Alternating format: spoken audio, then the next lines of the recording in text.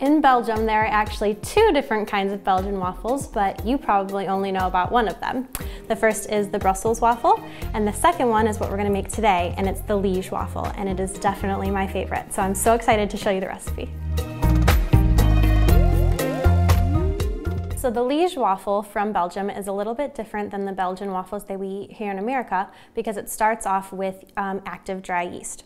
So I'm gonna start off with one third cup whole milk and I'm gonna microwave it to make it a little bit lukewarm, so probably about 20 to 25 seconds. Now that our milk is warmed up, we're gonna put the yeast in it. So these packets normally come with about three teaspoons of yeast inside. For this recipe, we only need one and three quarters teaspoon. Now in order to activate this active dry yeast, you have to put a little bit of sugar in the mixture as well. So I have one and a half tablespoons of granulated sugar. We're gonna dump that in let the sugar absorb in there. And then we're gonna leave it to rest for about 10 minutes. With water, it only takes about five, but because we're using milk, it's probably gonna take about 10 minutes for the yeast to start foaming. So, in addition to all of my favorite foods, fries, waffles, chocolate, uh, Belgium is also famous for their beer, which is something I'm not crazy about, but I can give them credit for. Um, in Belgium, they have 1,100 variants of beer, but they're most famous for Lambic.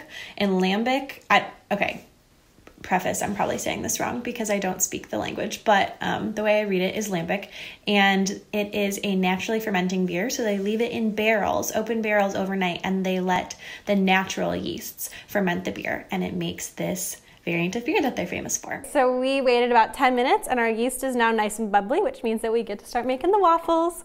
Um, so in this container, I have two cups of flour and I'm gonna put into it one half teaspoon of salt and then two and a half tablespoons of sugar. So these are our dry ingredients. I'm just gonna mix them really quick just to combine them. All right, they're probably nice and combined now, and so I'm gonna take a spatula and make a little well in the middle. So I'm gonna have just a little hole in the middle of the flour, and I'm gonna pour this yeast mixture, mixture inside. So the yeast mixture is in here. We're gonna mix it for about a minute and a half. So after about a minute and a half, you'll see that our mixture's kind of dry and crumbly in here. Now we're gonna add the wet ingredients. So I have three eggs. They're all room temperature. And I'm gonna crack them, whisk them up in a separate bowl, and then put them into the mixture one by one. And in between adding each egg, I'm gonna mix for about one minute each. So I crack the egg, I'm gonna whisk it up. I'm gonna pour this one in and then we're gonna mix it up for about one minute before we add the next one. While that's mixing up, I'll crack these ones.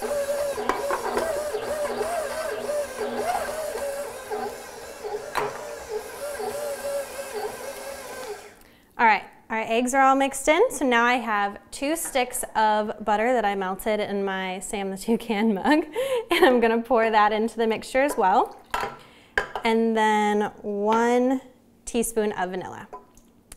Now your mixture is gonna seem really buttery. That's because it is really buttery because there's two sticks of butter. But this is what's really gonna put a good um, film over the top of the waffles when you're actually cooking them on the waffle iron and they're really delicious. So it's gonna take a little bit for this to mix in, probably about three to four minutes so that all this butter can get mixed into the um, mixture. And then we're gonna leave it to rise for about two hours Okay, so our dough has been rising for about two hours. So look at that, beautifully risen and ready to go. Okay, now earlier I told you that there was two different types of waffles that they make in Belgium. First, there's um, the Brussels waffle. And what that is, is it's kind of what we describe as a normal Belgian waffle in America. So um, it's a very uniform shape, um, deep pockets, and made in the same way that we normally make waffles here. The exciting thing is the Liege waffle, and this is again what I really love. So a Liege waffle is, the special ingredient in them is these um, little Belgian pearl sugars. Now this I had to get off of Amazon. It was about $16 for two bags of these, um, and I had them you know, shipped in from Belgium so that I can make these Liege waffles for you. So they're just little kind of pellets of sugar. If you don't feel like importing Belgian pearl sugar, you can also take um, uh, sugar cubes and you can crush them up and put them in your uh, Belgian waffles as well. So I'm gonna pour this in And I'm going to use a spoon. You can also use your hands to mix the Belgian pearl sugar in, evenly distribute it. And when you do, your um, dough is gonna deflate a little bit because it's been rising for so long, but it's gonna deflate a little bit, come back down to kind of its normal size. Make sure that you really get those pearl sugars mixed in as well as you can. Now, our waffle iron is heating up to 350 degrees. This I found is, is a good temperature because any more than that and your sugar will start to burn. Um, so you wanna keep it at about 350 degrees and then you're gonna cook them for maybe like four-ish minutes, four to five minutes, depending on your waffle iron. What this is gonna do is these little Belgian pearl sugars that are in the dough um, they're gonna start to caramelize and they're gonna form this really awesome crust that's like a good sugary, buttery crust on the outside of the Belgian waffles. They're really great warm, but even too, if you wanna leave the Belgian waffles to cool, um, they kind of harden a little bit and they taste really good like a dessert too. So you can eat them that way as well. Okay, so I've mixed all of my Belgian pearl sugar in. My waffle iron is heated up to 350 degrees. So I'm gonna open it up. Whew, got some steam. Spray it with some nonstick spray. This is very important. And then I take about three tablespoons of mixture and I put that in the waffle iron. So I kind of um, layer them out horizontally on here. There's four spots for waffles, but I tend to only use two of them to make the waffles. Otherwise, they start to uh, form together into like one big mega waffle. And that might be okay for a Brus Brussels waffle, but with a Liège waffle, they're supposed to be um, not uniform in shape. So they're supposed to be a little irregular and um, they're not supposed to be perfect squares. So if I put, if I use all four waffle spots, um, it'll start to form into four perfect squares and I don't want that. So, okay, I've put the dough on here. I'm gonna shut this now my waffle iron is fantastic and it tells me when about three or four minutes is up. Um, so my little red light is gonna come on and tell me when I should check them. You can also just you know, look at a timer, three to four minutes. Um, if you like them a little bit darker, then you can do them for five or six too.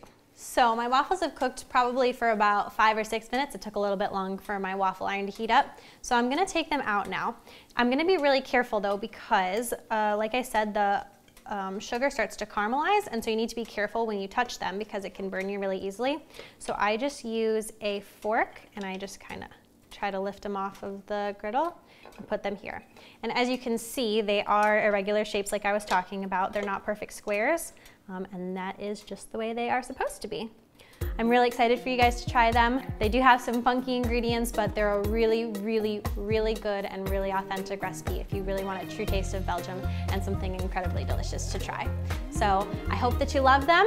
Um, I hope that you try them. If you do, let me know how it goes in the comments and always um, come back. We're gonna be doing more countries as the weeks go on. So I'm really excited to keep sharing recipes with you. So if y'all are really liking these videos and you want to see more of them, then remember to just hit the subscribe button down there and then that way you can make sure not to miss anything else.